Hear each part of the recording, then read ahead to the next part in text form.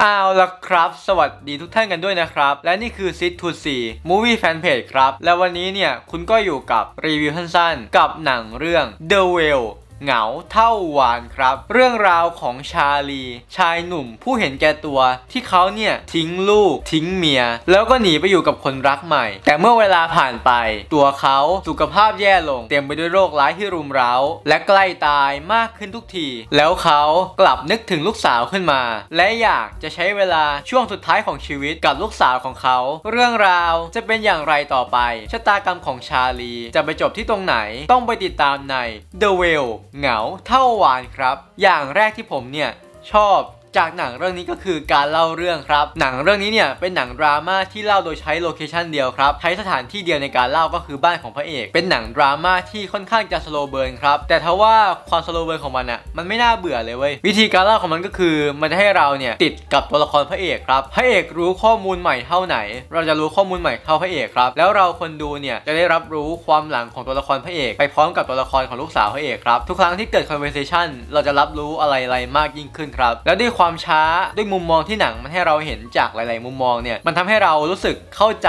ทุกตัวละครนะครับแล้วมันทำให้เรามองตัวละครพระเอกจากคนที่แบบเลวร้ายเลวซาม ให้กลายเป็นคนที่น่าเอาใจช่วยได้ครับถึงแม้ว่าเขาจะเห็นแก่ตัวถึงแม้ว่าเขาจะเลวร้าย แต่สุดท้ายด้วยวิธีการเล่าของตัวหนังเนี่ยมันก็ทำให้เราคนดูสามารถมองเขาในฐานะของมนุษย์ธรรมดาคนหนึ่งได้ครับอย่างต่อมาที่ชอบคือเรื่องของซับพลอตครับซับพลอตคือเรื่องของพล็อตย่อยในหนังเมนหลักคอนฟ lict หลักเนี่ยคือเรื่องของพระเอกกับลูกสาวครับ คือเรื่องของพระเอกใกล้ตาย แล้วก็มีคนนู้นคนนี้เข้ามา แล้วมันจะมีเรื่องของเส้นเรื่องย่อยของตัวละครแต่ละตัวละคร ซึ่งผมชอบมาก มันมีเสน่ห์มากๆครับ คือทุกตัวละครในเรื่องเนี่ย มันมีแรงขับเคลื่อน มีแรงจูงใจ มีแรงผลักดันเป็นของตัวเอง ซึ่งผมชอบมากๆ มันทำให้ทุกอย่างในเรื่องนี้มันดูเป็นคนมากๆครับ การกระทำของตัวละครทุกตัวเนี่ย มันเป็นสิ่งที่คนทำให้กันนะครับ มันไม่ได้เป็นอะไรที่ดูปรุงแต่งขนาดนั้นทำให้เราคนดูเนี่ยรู้สึกแล้วก็เชื่อได้ว่าสิ่งที่เกิดขึ้นในจอหนังเนี่ยมันเกิดขึ้นจริงครับ เพราะว่ามันมีความเรียลในด้านของอารมณ์ ความรู้สึก และก็การกระทำมากๆนั่นเองนะครับ อย่างต่อมาที่ชอบก็คือเรื่องของงานภาพครับ ทั้งเรื่องของ grading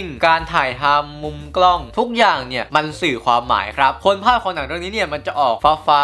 น้ำเงินน้ำเงินนะครับซึ่งมันจะทำให้เรารู้สึกเย็นเย็นเหงาเหงาหนังเนี่ยมีการเคลื่อนกล้องหลายครั้งนะฮะอย่างมีนัยสำคัญอย่างเช่นเวลาที่ตัวละครเนี่ยเกิดการ discuss กัน มันจะมีการเคลื่อนกล้องทำให้เรารู้สึกไม่มั่นคงนะฮะซึ่งหนังเนี่ยจะมีอะไรแบบนี้อยู่เยอะมากๆนะครับซึ่งผมเองก็ชอบมากๆเช่นกันครับมันจะมีการซ่อนสัญญะซ่อนเบาะแสไว้ในภาพด้วยซึ่งโห เป็นการเล่าเรื่องที่ฉลาดมากๆ ที่เขาเลือกจะถ่ายทอดบางเรื่องราวออกมาผ่านงานภาพครับ อย่างต่อมาที่ชอบก็คือเรื่องของดนตรีประกอบครับ หนังเนี่ยมีการใส่ซาวที่ค่อนข้างจังหวะดีฮะ จังหวะไหนที่ควรเงียบมันก็เงียบ จังหวะไหนที่ควรไม่ซาว มันก็มีซาวครับ คือทีแรกผมคิดว่าอาจจะแบบไม่ร้องไห้หรอกหนังอะไรอย่างนี้นะ เพราะว่าซาวต้นๆเนี่ยมันจะแปลกๆหน่อย แต่พอผมเนี่ยจูนกับหนังติดแล้ว ทุกครั้งที่หนังมันขยี้เนี่ยผมแบบน้ำตาไหลตลอดเลยครับ เป็นหนังอีกเรื่องที่ดูแล้วแบบร้องไห้หนักมากนะฮะ แต่ว่าก็รักมันมากเช่นกันนะครับ นับว่าดนตรีประกอบเรื่องนี้เนี่ยสามารถสร้าง emotion กับคนดูได้ดีเลยนะฮะ อย่างต่อมาที่ไม่พูดไม่ได้ก็คือเรื่องของการแสดงครับ โดยเฉพาะอย่างยิ่งนะฮะ Brendan Fraser โค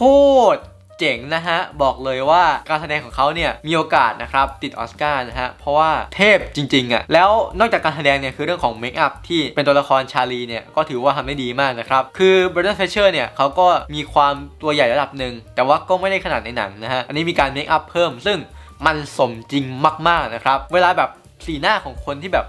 ป่วย แววตาของคนป่วย เวลาเขารู้สึกเศร้า รู้สึกบางสิ่งบางอย่าง ซึ่งหลายครั้งหนังมันไม่ได้แบบออกมาร้องไห้ให้คนดูนะเว้ยมันสื่ออารมณ์ผ่านแววตาสีหน้าท่าทาง ซึ่งเป็นอะไรที่ยอดเยี่ยมมากๆ การแสดงของ Brendan Fraser เป็นอะไรที่แบบทำให้เราเชื่อได้ว่าเขาเป็นคนอย่างนั้นจริงๆเขาอยู่ในสภาวะอย่างนั้นจริงๆครับ นอกจากนี้นะครับนักแสดงคนอื่นก็โคตรเทพเช่นกันฮะ อย่างตัวที่เล่นเป็นลูกสาวเนี่ยเขาเล่น Stranger Things นะฮะผมจำชื่อไม่ได้ แต่ว่าเล่นดีมากๆครับซีนดราม่านี่ผมไม่คิดว่าจะดีได้ขนาดนี้นะฮะเพราะว่า Stranger Things เนี่ยมันก็อาจจะไม่ได้มีอะไรให้โชว์ขนาดนั้นไงแต่เรื่องนี้คือแบบมันมีช่องให้ปล่อยของเยอะมาก แล้วเธอก็ปล่อยออกมาได้แบบ นับว่าเป็นนักแสดงรุ่นใหม่ไฟแรงที่น่าจับตามองเลยครับ เธอในลุคนี้เนี่ยออร่าจับมากเลยนะฮะ ส่วนคนอื่นเนี่ยก็ดีหมดนะฮะ ต้องบอกว่าการแสดงเรื่องนี้เนี่ยค่อนข้างจะดีกันหมดเลยนะครับทำให้หนังเนี่ยมันไม่ได้มีใครโดดไปกว่าใครนะฮะ ยกเว้น Brendan Fraser เพราะว่าเขาออกเยอะนะครับ อย่างต่อมาที่ชอบก็คือเรื่องของสิ่งที่หนังเนี่ย มันฝากไว้ให้กับเราครับ หนังเนี่ย มีตอนจบที่ผมชอบมากนะครับ เราสามารถตีความได้หลายแง่นะฮะ แต่ผมก็ตีความไปในแง่นั้นนะนะ ถ้าใคร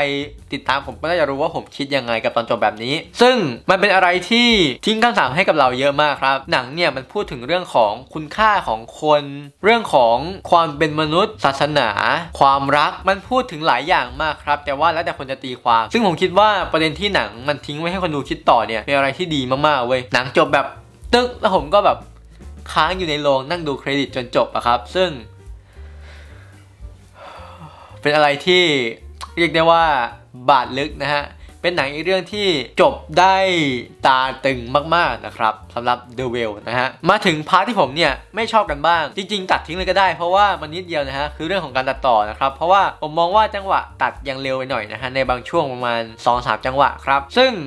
ก็แค่นี้นะฮะ ที่เหลือผมชอบหมดเลยนะครับ หนังเรื่องนี้เนี่ยสำหรับผมมันคือ perfect อะครับ แล้วผมก็รู้สึกแบบอินชอบกับทุกองค์ประกอบของหนัง หนังเนี่ยเป็น slow burn แต่ว่ามันไม่มีช่วงไหนที่น่าเบื่อเลยนะครับสำหรับผม ทุกอย่างมัน enjoy มากๆ แล้วก็ผมรู้สึกโดนดูดเข้าไปในหนังนะฮะหนังมันมีเสน่ห์มากๆครับ สรุปง่ายๆ โดยรวม The Whale เหงาเท่าวาฬ นับว่าเป็นหนังดราม่า location เดียว ที่มีจังหวะการเล่าดีมากเรื่องหนึ่งครับสำหรับผมไม่มีช่วงไหนของเรื่องที่น่าเบื่อเลย อีกทั้งการเล่าของตัวหนังเนี่ยมันยังทำให้เราคนดูสามารถเห็นใจและเอาใจช่วยตัวละครที่เลวมากคนหนึ่งได้ครับ นอกจากนี้แล้วทางด้านงานสร้าง งานภาพ ดนตรีประกอบ และการแสดงโดยเฉพาะอย่างยิ่งการแสดงของ Brendan Fraser ก็ส่งผลให้หนังเรื่องนี้เนี่ยมีเสน่ห์ และทรงพลังมากๆครับ อย่างไรก็ดีตัวหนังเนี่ยสามารถย้ำเตือนกับคนดู ให้เราเห็นถึงคุณค่าของคนรอบข้าง และมองทุกคนในฐานะของมนุษย์คนหนึ่งที่ผิดพลาดเป็นเลวเป็น